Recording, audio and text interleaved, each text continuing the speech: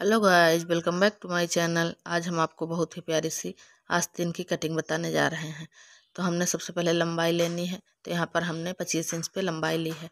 अब हम तीन इंच पे एक निशान ड्रॉ करेंगे, यहाँ से हम आर्म होल का सेप देंगे। आगे हम मोहरी पे निशान लगाएँगे। तो यहाँ पर एक इंच मार्जिन लेते हुए हमने साढ़े पाँच इंच पे मोहरी का निशान लगाया है और इस निशान से इसको मिला दिया है। अब हम आगे कौल सेप देने के लिए सात इंच पे एक निशान बनाएँगे। और यहाँ से इस निशान को सीधा कर लेंगे। अब हम आर्म होल के निशान को लगाते हैं।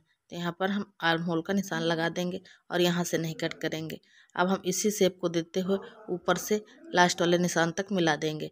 और यहाँ से कट नहीं करना है, जहाँ से हमने निशान लगाया है, सेम वहीं के पास से इसको कट करना है। तो गाइज़ अगर आपको ये वीडियो ज़रा सा भी पसंद आए तो प्लीज़ हमारे चैनल को लाइक करना। तो यहाँ पर हमने जहाँ से निशान बनाया था, वहाँ पे एक नोचिस लगा देंगे। अब हम जो प्लेट लगाएँगे, उसकी एक एक इंच पे निशान लगाएँगे। तो यहाँ पर हम सारे निशान एक एक इंच पे बीस सेंटर तक लगा देंगे। ऐसे ही हम पूरे गोलाई में ये निशान बना लेंगे। अब हम ऐसे ही सेम निशान दूसरी तरफ़ भी लगा लेंगे और इस पर प्लेट डालेंगे।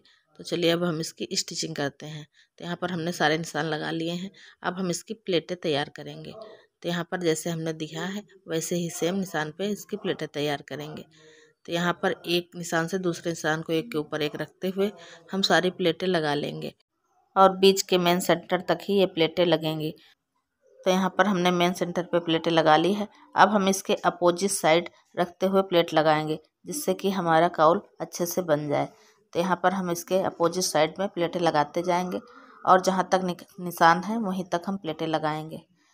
तो गाइज़ अगर आपको ये वीडियो ज़रा सा भी पसंद आए तो प्लीज़ हमारे चैनल को लाइक कीजिएगा। और हमें सपोर्ट कीजिएगा। तो यहाँ पर हमारा काउल बन के रेडी हो गया है। अब हम इसके आगे की मोहरी तैयार करेंगे।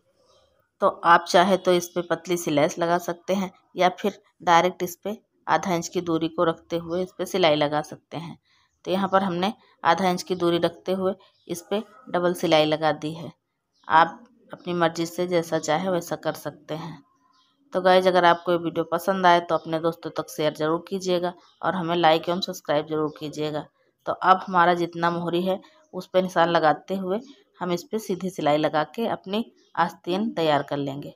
दोस्तों, ऐसी स्लीव्स आजकल ज़्यादातर लोग ब्लाउज में भी बनवा रहे हैं और टॉप में भी बनवा रहे हैं, कुर्ते में भी बनवा रहे हैं।